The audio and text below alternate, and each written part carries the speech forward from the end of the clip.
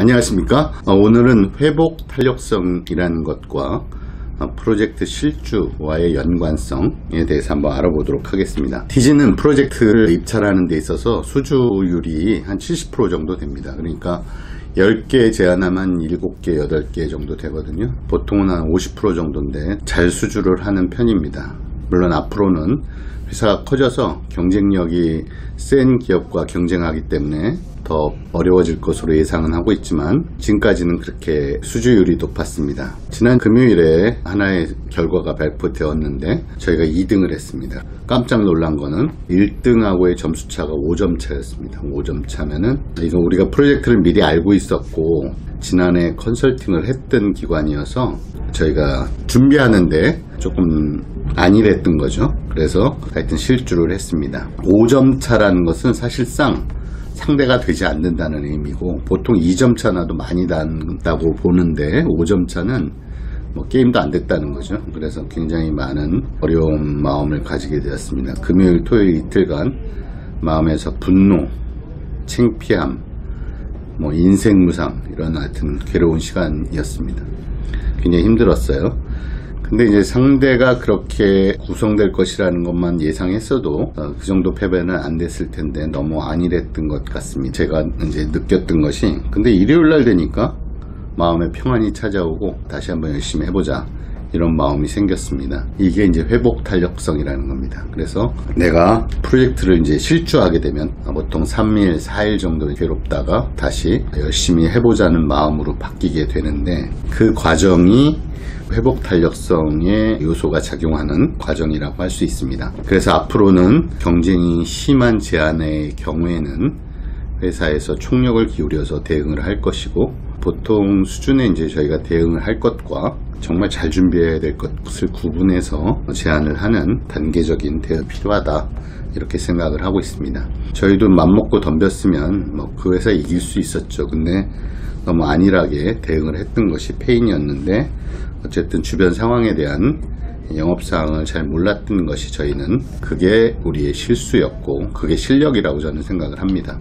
회복 탄력성이라는 책이 있습니다. 예스24에서 소개된 책을 참고를 했는데 우리 멘탈을 회복하는 것 우리가 이제 뭔가 새로운 환경 새로운 상황에 대해서 우리가 어떤 침체에 빠져 있거나 낙심할 때 우리가 회복되는 것 그런 것들을 연구한 교수님이 있는데 15만 권이 팔렸다고 합니다. 2011년에 발행되었는데 지금까지 15만 권 엄청나게 팔린 거죠. 이게 이제 연세대학교 김주환 교수입니다. 그래서 회복 탄력성은 다시 제자리로 돌아오는 힘이고 처음으로 회복하는 성질입니다. 그래서 시련이나 고난을 이겨내는 긍정적인 힘을 말합니다. 저자는 회복 탄력성으로 어려움을 이겨낸 사례를 소개하면서 다양한 사례와 더불어서 수년간 회복 탄력성을 연구를 해서 자들이 회복 탄력성을 가져서 어떤 어려움에서 다시 일어설 수 있도록 도와주는 책이었습니다. 연세대 김주환 교수는 자타가 공인하는 명 교수님으로서 당신의 마음에 근력을 키우세요. 이런 모토를 가지고 강의를 많이 하셨나 봅니다.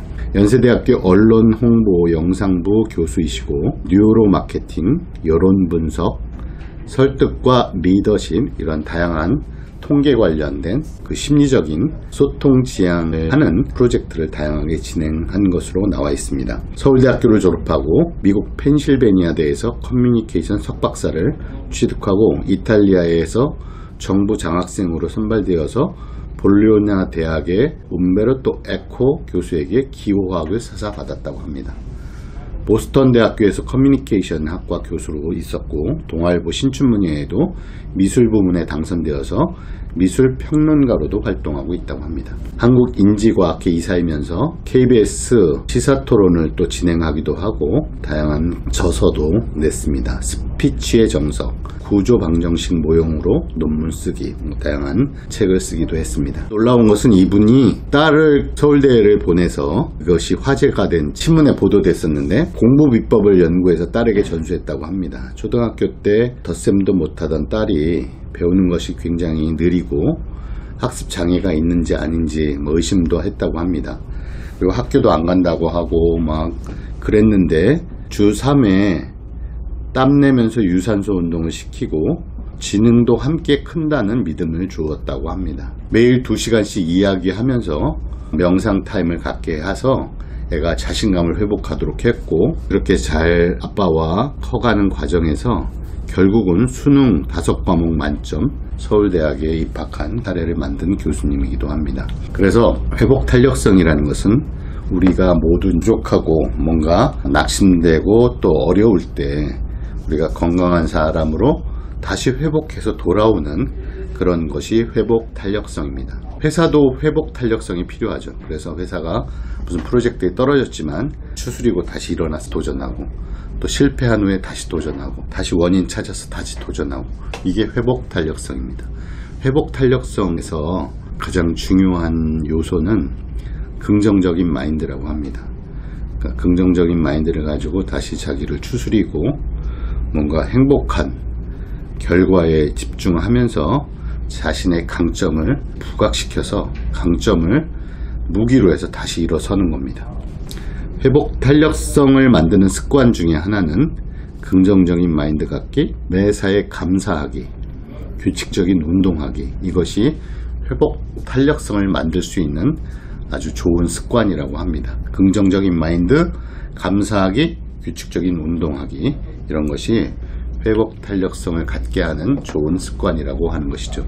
TG도 마찬가지입니다. 매사에 감사하고 실주에도 감사하고 또 규칙적으로 우리가 함께 뭔가 마인드를 다시 새기고 마인드를 다시 리프레시하고 이런 후에 고객과 인터뷰도 많이 하고 전략 수립하고 수행 부분도 디테일하게 서술을 해서 제안을 잘해서 다시 실패해서 일어서는 TG의 회복 탄력성을 갖도록 우리가 어, 마음의 근육을 키워야 될 것 같습니다. 여러분 어렸을 때 이렇게 탱탱볼 있죠? 팍 튕기면 팍 튀어 올라오는 탱탱볼 그걸 보면서 아, 회복 탄력성이 아주 강한 공이죠.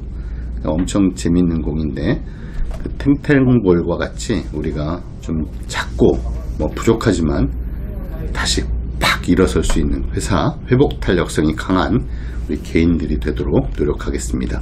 감사합니다.